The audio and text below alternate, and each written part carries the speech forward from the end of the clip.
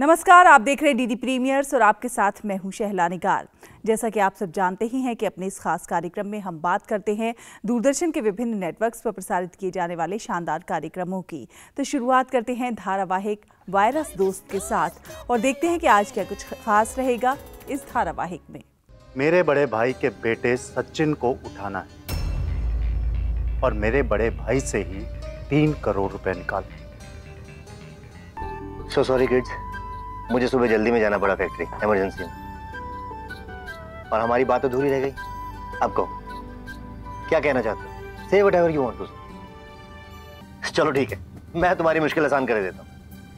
संजू को क्रिकेट नहीं खेलना राइट तो ठीक है तुम्हें जो कोई गेम खेलनी है तुम खेल सकते एंड कीर्ति माई प्रिंसेस तुम्हें सिंगिंग नहीं बल्कि पेंटिंग सीखनी है राइट तो ठीक है डन थैंक्स डैड और कुछ? तो देखते रहिए धारावाहिक वायरस दोस्त हर शनिवार और रविवार रात 10 बजे डीडी नेशनल पर। और अब बात धारावाहिक मुझे मैरी कॉम बनना है कि।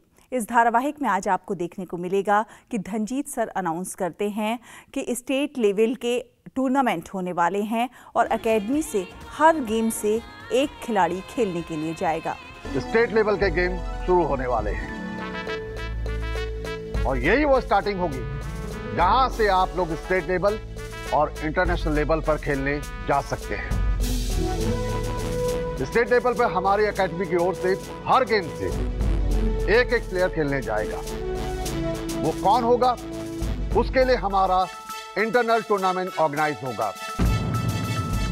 उसमें फ़र्स्ट आने वाला प्लेयर ही हमारी एकेडमी की ओर से स्टेट लेवल पर खेलने जाएगा। तो क्या कॉक्सी बॉक्सिंग के लिए क्वालिफाई कर पाएगी? जानने के लिए देखिए धारावाहिक मुझे मैरी कॉम बनना है हर शनिवार और रविवार शाम छह बजे डीडी नेशनल पर।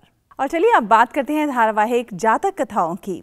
तो इस धारावाहिक में आज आप देखेंगे कि मठ में सुयश और सारांश आपस में झगड़ा करते हैं और फिर लामश्री उन दोनों को दो किसानों की कहानी सुनाते हैं। सुयश और अनुराग में छोटा सा संघर्ष हो गया था। मित्रता को यूँ नहीं तोड़ते। भगवान बुद्ध तो शत्रु को भी कष्ट देने के विरुद्ध थे। और यदि मित्र गलती करे तो? तो प्रेम से समझाओ। दोपहर तक घर में पड़े रहो और उसके बाद तुम्हें धक्का देकर खेत में भी भेज दिया जाए। तो किसी पेड़ की छां तले मुँह पे गमछा डाल के सो जाएँगे। एक हल से कोई इतना कुछ कैसे प्राप्त कर सकता है? हाँ मित्र यही है वो राज। ये घर ये खेत जो भी मेरे पास है सब इसी हल का ही दिया हुआ है। इस हल से जोता हुआ बंजर भूमि भी उपजाऊ बन जाता है। अच्छा तो इसकी कामयाबी का रहस्य हल है। तो क्या है इस कथा का उद्देश्य? जानने के लिए देखिए धारावाहिक जातक कथाएँ। हर शनिवार और रविवार रात साढ़े दस बजे डीडी नेशनल पर। तो दूरदर्शन के विभिन्न नेटवर्क्स पर प्रसारित किए जाने वाले इन शानदार कार्यक्रमों का आप उठाते रहिए आनंद। हमें दीजिए अनुमति। नमस्कार।